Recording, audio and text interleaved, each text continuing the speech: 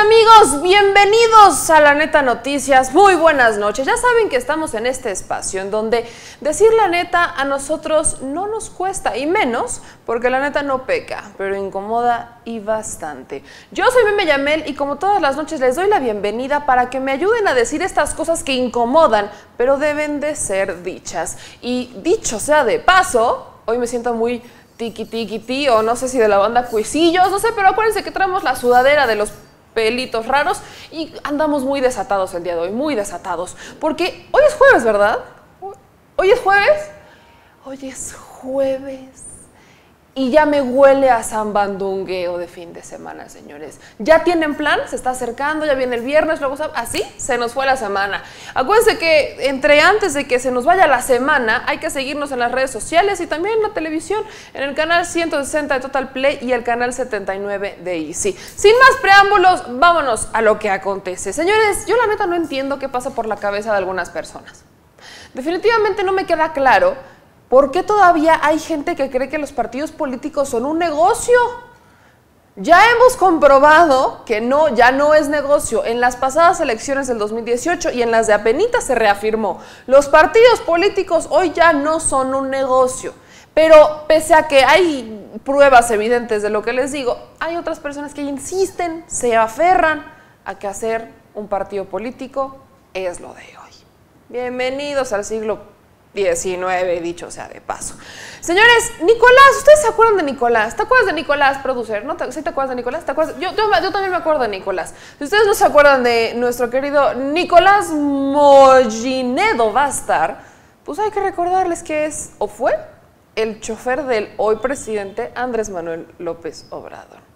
Señores, Nicolás Mollinedo Bastar, mejor conocido para la banda como Nico, es el era el chofer de Andrés Manuel y coordinador de logística también de Andrés Manuel. Y hoy venimos amaneciendo con que reafirma su intención de crear un partido político basándose en su asociación civil Movimiento Ambientalista Social por México. Por si no les ha quedado claro por dónde va esta cosa, pues el Nico quiere hacer un partido verde 2.0. Estamos en la época de los, de, los refritos.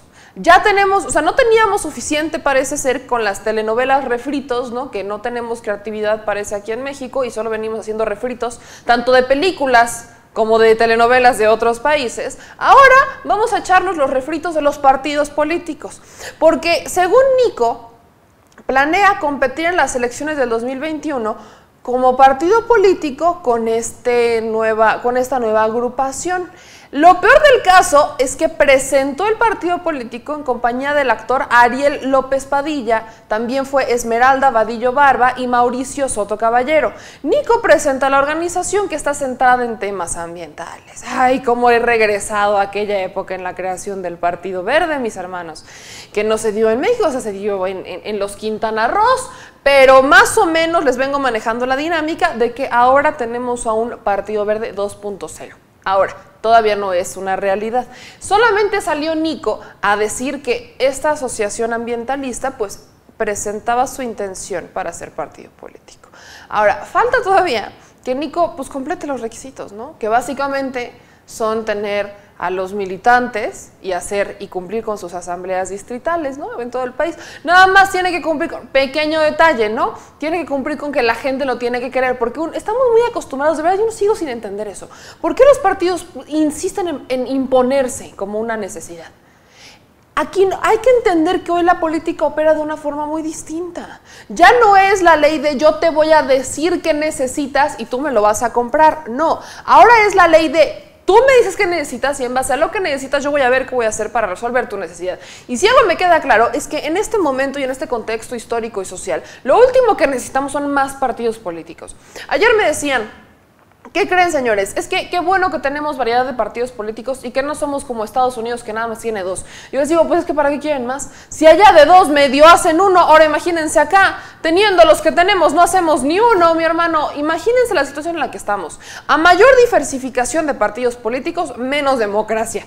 Porque más se fracciona el voto, menos nos ponemos de acuerdo y más se polariza la sociedad. Que le quieren cargar al muertito AMLO con eso de la polarización, pues me queda claro que es porque no saben responder por sus propias acciones. Pero se viene politizando todo esto. Ahora, una asociación civil, señores, asociación civil como la de Margarita Zavala, creada única y exclusivamente con fines políticos. Les hace falta ver más backs. Porque sí sabían, de verdad, sí sabían que ustedes pueden, no sé, fomentar políticas públicas desde la participación ciudadana, solo necesitan aprender a cabildear, solo necesitan aprender a negociar, acercarse a las personas que deben de, acercarse a los políticos y que obviamente los políticos les hagan caso, que es lo complicado muchas veces. Pero aquí se trata de exigir de los dos lados. Nosotros como ciudadanos, yo no sé ustedes, pero yo creo que ya tanto partido político no es necesario. Ahora, partido satélite como el Partido Verde, un partido que fue creado no con una ideología de ayudar al medio ambiente, pero sí con una ideología de ayudar a otros partidos políticos a no desaparecer, ahora queremos tener otro. Primero que funcione el primero, mi hermano, que funcione el original que ahí está, que anda proponiendo lo de los circos sin animales, que propuso penas de muerte, que propuso cadenas perpetuas. Mejor vámonos con este partido que, bueno, ya, ya, existe, ¿no? Ya cumplió cuando tenía que cumplir, hay que exigirle. Pero ¿para qué queremos otro, otro partido ambientalista? Entre más partidos hagamos, menos resolvemos el tema del medio ambiente. Yo digo, yo no sé ustedes qué opinen, pero a mi parecer creo que estamos un poquito atrasados en temas, ¿no? Vale la pena recordarles que las disposiciones del INE para que el partido que intenta hacer Nico se vuelva una realidad, quiere decir que tiene que contar con al menos 3.000 afiliados por entidad, o bien 300 distritos, 300 por distrito, perdón, y comprobar que no se utilicen organizaciones gremiales, porque claramente no pueden estar como los maestros, ¿no? Por ejemplo, como lo quisiera hacer en algún momento doña Alba Esther. La asociación que está encabezada por Nico, deberá de cumplir con estas asambleas antes del enero del 2020 para poder enviar su solicitud de registro del 6 al 31 de enero del próximo año.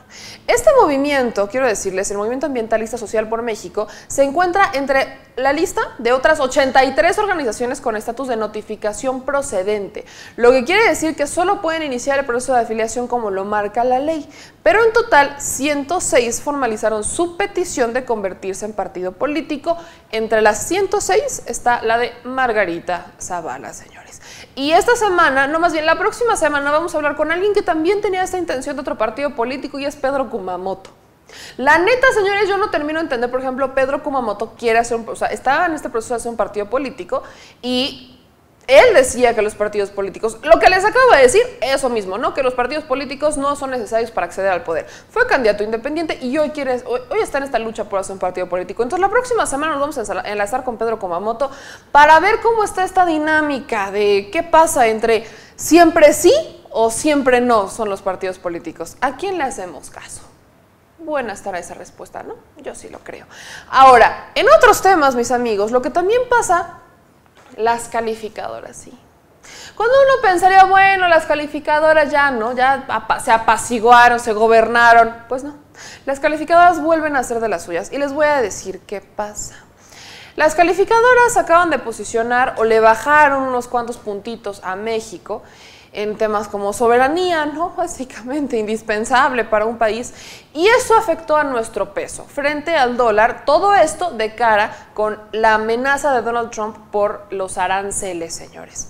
Quiero decirles que Andrés Manuel ya contestó a estas calificaciones que nos están dando.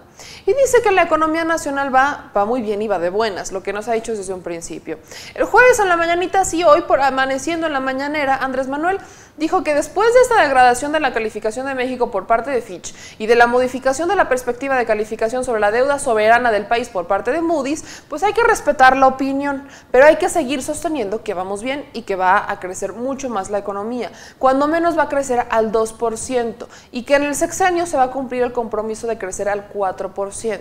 Andrés Manuel señala que con todo respeto, la falla que tienen las calificadoras y los expertos en materia financiera es que aplican la misma metodología desde hace más de tres décadas que se utilizó en un periodo neoliberal y que no tomaban en cuenta palabras tecnocráticas como la variable corrupción. Entonces, por eso los pronósticos no resultan, no van a tener éxito, pero las pruebas se remiten. Yo lo que les voy a decir ante este antecedente es, uno, Estamos ante un cambio de régimen. Si no les ha quedado claro, esto es un cambio de régimen. Vivimos una nueva etapa en el país, una etapa histórica. Con el PRI y con el PAN no notamos esta diferencia porque al final los dos tenían estos mismos intereses económicos que se centraban en las clases medias altas. Pero hoy tenemos un gobierno que se está centrando en una clase social que ha estado durante mucho tiempo olvidada y las políticas económicas que se plantean son distintas. Entonces es evidente y muchos lo deberíamos de haber esperado o lo debíamos de haber sabido, pero a muchos se les olvidó. Cuando se da un cambio de régimen tan real como este, de pasamos a una izquierda, la desaceleración económica los primeros meses es normal, porque lo primero que realizó nuestro presidente, lejos de empezar a hacer, a trabajar como tenía que trabajar y a operar con el presupuesto, fue eliminar la corrupción, barrer la casa, depurar, meter ahí uno que otro fertilizante para que crecieran nuevos arbolitos bellos y preciosos, ¿no? Hacer una diferente mecánica y pues, sacar lo que se tenía que sacar. Y estamos en esta curva de aprendizaje que ha durado estos seis meses, prácticamente. Lamentablemente, las calificadoras no miden los cambios de régimen.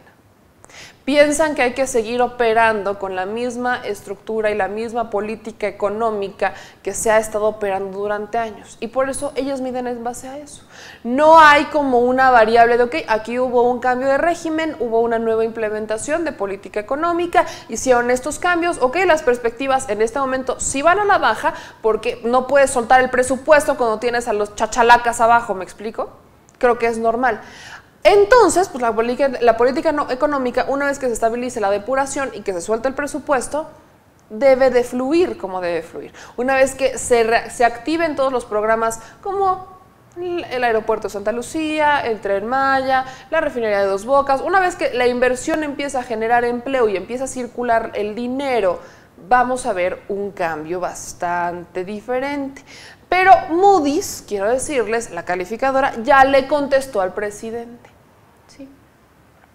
Dice Moody's que es que la corrupción siempre ha limitado la calificación de México. O sea, sí está medio como variable, pero no. Andrés Manuel dice que la corrupción no es una variable y Moody's lo confirma. Moody's solamente dice que como tema personal, ¿no? O sea, a México, pues la corrupción siempre ha limitado el crecimiento económico. No es que lo evalúen, es que es como que nos están definiendo. Nos está diciendo Moody's que si nosotros no fuéramos corruptos, o nuestro país, nuestras funciones, nuestro gobierno no fuera corrupto, pues nuestra calificación sería mayor. Es una observación. No es como que lo tome en cuenta para emitir su calificación. Simplemente dice Moody's que si no la tuviéramos, mejoraríamos. Pero no es una variable que, que, someta a una evaluación real y dura como lo hace con otras variables económicas. En la lista para México de Moody's, Jaime Ruche dijo que le preocupa en realidad la debilidad económica, o más bien la debilidad institucional que se observa a partir de las decisiones del gobierno de Andrés Manuel López Obrador. Y no es una situación de debilidad, yo lo corregiría, es una situación de incertidumbre. Porque sí, se han cambiado las políticas, se ha cambiado funcionarios, se han modificado funcionarios, se han eliminado funcionarios para dejar entrar a gente de confianza. Lamentablemente estamos en un punto en el que no sabemos en quién confiar. No podemos contratar familiares porque es nepotismo, no debemos de hacerlo. Pero no podemos tampoco amigos. Pero ¿en quién podemos confiar cuando vivimos bajo un sistema que se ha arraigado desde su raíz a una corrupción interminable? Eso es lo que yo les quiero dejar de tarea. Y pese a que Moody's dice que el elemento corrupción siempre ha estado en la calificación como que no puede, como que es, un, es una piedrita en el zapato de México para mejorar nuestra nota crediticia, la realidad es que no es una variable que se tome a consideración, porque no se ha señalado. Si México, no, no, no hay un reporte que veamos de Moody's o de Fitch en el que digan la corrupción es de tal, o sea, que de verdad nos analicen el tema de corrupción en el país, que se señalara, que se bajara la calificación por corrupción. No lo vimos. No vimos que la corrupción de verdad, de forma numérica, de forma variable, tuviera un impacto en las calificadoras, en esta evaluación que emitan a los países, en la nota crediticia. No lo vimos. Vimos que es una piedra en el zapato y eso como que todos lo sabemos, ¿no? Es como de, ay, pues si no estuvieras tan gordita harías más, estarías más flexible, ¿no? Es una, es una evaluación muy a juicio de valor, no a como una calificadora debería de prospectarse. Sabemos que la corrupción nos limita en muchas cosas, por eso estamos como estamos, pero si las calificadoras hubieran emitido una observación, ya sabes, así como, de, oye, ¿qué crees, presidente? La corrupción es tu pie, es tu pie izquierdo, derecho, todo tu cuerpo. Si no lo eliminas, tu calificación va a bajar a tanto. Y entonces, como no, no iba a haber eliminación, pues bueno, por corrupción, a México le bajamos tantos puntos en su nota crediticia.